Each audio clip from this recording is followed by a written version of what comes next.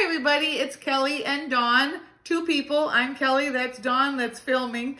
Um, we are Diamond Dotting Divas. What I want to show you today, it's called Freestyling with Your Extra Diamonds. If you are like us, we have thousands of extra diamonds left over. We don't know what to do with them. So we came up with this little video to show you what to do with them at home. So uh, what we have this little bundle for you. I'll tell you everything that comes in it. What you're going to get is you're going to get two of these little floating frames. You're going to get four patterns. You're going to get two blank sheets that already have the adhesive and you get a bonus three inch square sheet. So what this is, is you will take, um, so Dawn has been working on this little guy. Now, this is a, only, only these squares are five by five. Um, and so there's probably what, like it's 50 squares by 50 squares. So this of course is too little. We're going to give you this bigger um, piece, which this bigger piece should be 40, 40 squares by 40 squares. So what you're gonna do is you're gonna, I'm gonna to show you how to grid this out. But what you do is you just, you, we're gonna give you two of these frames. You just undo this back part. This is two pieces of glass. So you're gonna take out this little piece of paper that it came with. You're gonna put in whatever you diamond dotted and you're freestyling. you're just sandwiching between the two glass and you put it back in your little frame and you put the back on and you zip up the little, you close up the little notchy things. So, but the reason, just a moment, technical difficulties. So Okay, I should have put this in right, Dawn. You should have yelled at me. Sorry, I wasn't. So what you're gonna, so then that's what you're gonna have. Now we realize that of course this one is a little bit too small, but Dawn was gonna maybe mat it with some cardstock or like a frame mat. That's why we're giving you this one, so it'll be about that big. You can still mat it if you want, but you will also have the illusion that it's floating in the glass frame. So these are blank sheets that have the, well, I call them squares, but they're really just the little circles.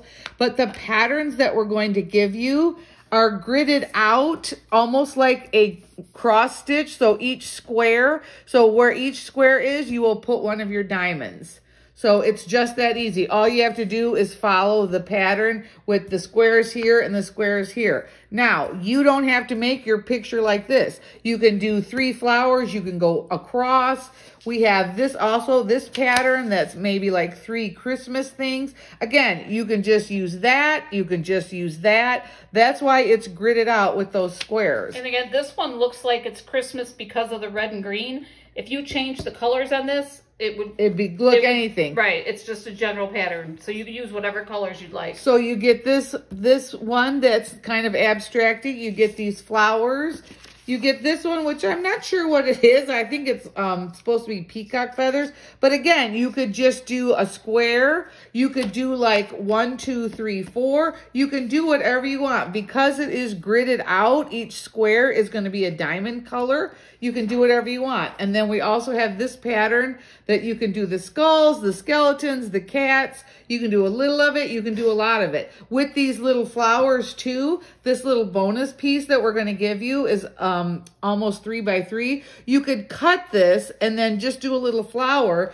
and then you could put like a little flower square in each corner. So they don't have to stay this big. This is just what we're going to give you. The reason is it should be 40 squares across and 40 squares up so that if you want to grid your, like if you want to do something abstract, which I'm going to show you, you can do it in 10 by 10 squares. So like this one I did, um, you can, I just like Googled a pattern and I just kind of started playing around with, again, it's a great way to use all your extra diamonds.